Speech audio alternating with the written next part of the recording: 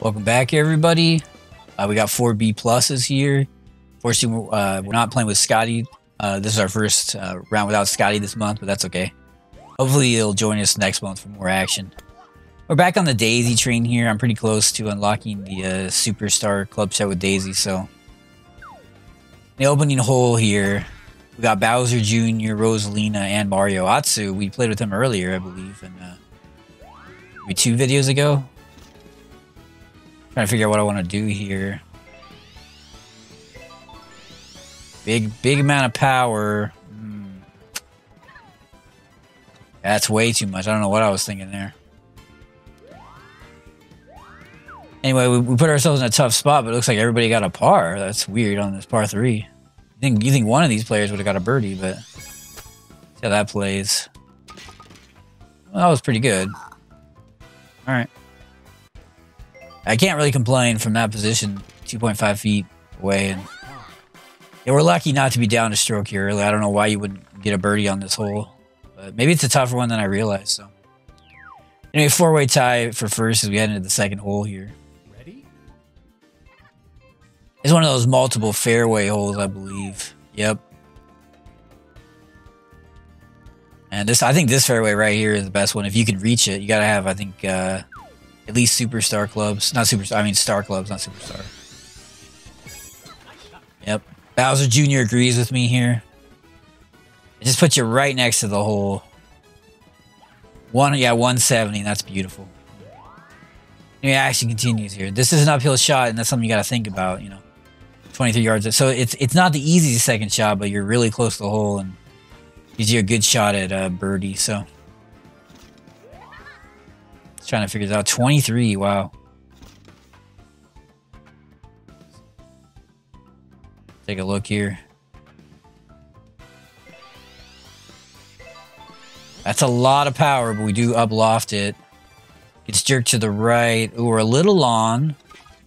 That was almost really good. Well, what are we what are we looking at? We got a birdie here for Bowser Jr., a birdie here for Rosalina. That's what Mario's doing here. See if we can uh, chip this in, maybe. And we get it. We get it for a nice little eagle there. Okay. I guess Atsu uh, gave up the hole or something. Plus 10. It gives us a one-shot lead here as we head into the final hole, so we'll take it. Love to wrap up uh, May with a podium here. We got a little lag here, perhaps. Not sure what's going on here, but... uh Okay, Atsu left the room. I guess that's what you do when you're at plus 10, right? I think I want to try to get between these two rocks here. A driver. Got a one-shot lead here, so a birdie should probably seal this thing. And, uh, looks like a little rock action there for Rosalina.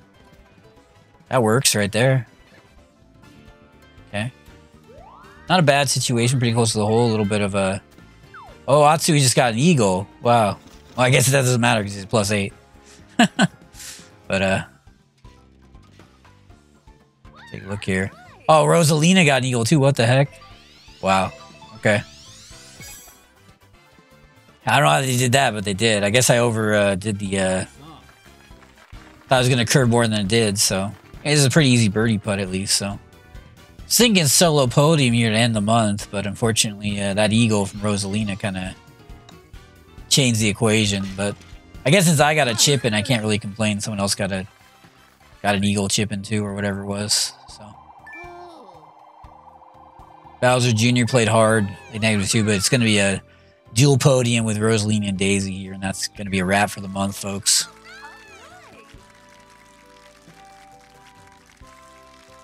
Look at all those fans in the back cheering us on. I love it. 17 points. That should get us there. It does. Yep, that's at A minus. I'm a big Luigi fan, so I, I can't wait to check out this. Uh... Yep, I love it. I love it. There's Luigi in the classic Luigi costume. That's going to do it here, folks. Thank you so much for joining me. Feel free to like, comment, subscribe if you're so inclined. see you next time for more action. Thanks for stopping by, everybody.